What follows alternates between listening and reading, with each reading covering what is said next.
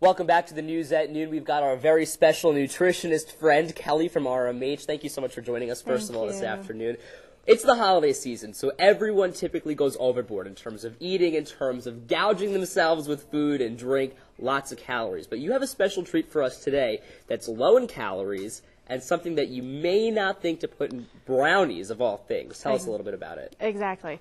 Okay, so typically your brownies are going to call for an egg, oil, things like that.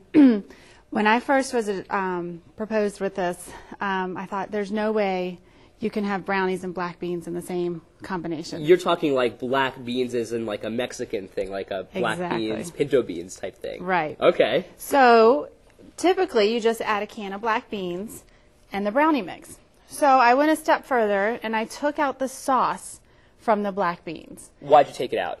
Well, it's a little more saltier, and I thought maybe add a little sweeter taste on top of it. So I'm going to substitute with applesauce. Okay. And now the applesauce is supposed to be your liquid then since you took the sauce from the beans out. Right. Okay. Right. So if we put it in here into our into our brownie mix that Right. typically calls for oil and all the other good stuff, eggs and butter, is it really going to hold? Absolutely. Really? Absolutely. So this comes out to be, I measured out, it's about a half a cup that comes from the brownie. So that's how I knew how much to substitute with the applesauce. Great idea, So okay. equal substitution there.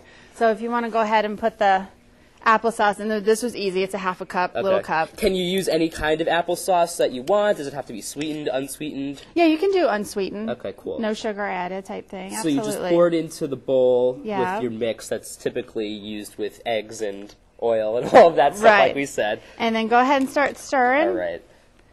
because when I was first doing this, I thought this isn't gonna, you know, get fully saturated and stuff. Okay. But it, it, it doesn't really look like it is. It's kind of just staying together. Oh, so you have to add the beans together with. well, you don't have to. It just really, it just takes a little time and stuff, but it does.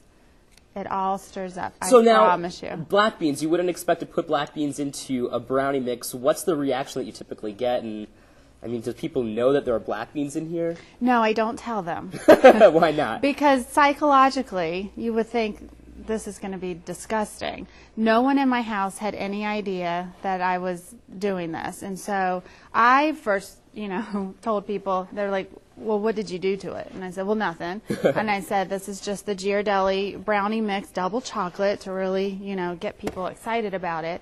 And they ate it and thought, "This is really good." Wow, and yeah, it's starting to coming together now, Yeah. and you just, I guess, add more beans, and it gives it a little bit more thickness. But when you're done stirring and when you're done putting it all together, this is what it looks like in the final product. Right, right. Okay. It's very fudgy. Go ahead. All right, can we Have try it? Yes, absolutely. All right, let's see. And the black beans, it actually comes across like it's chocolate, Chocolate chips. chips. because you don't taste it. This is incredible. Yeah, I know. Wow, Kelly, I am? I'm impressed right now. I'm not gonna lie. What a great idea, though. What a great way to keep people healthy, especially at the holiday season. Kelly, thank you so much for joining us. Thank you. If you want more information, you can take a look at our screen right now. You can make an appointment with Kelly. She's a registered dietitian. You can give her a call right here on your screen, 540-433-4344. And for the rest of us, we're going to take one last look at weather. Tracy's got... He's led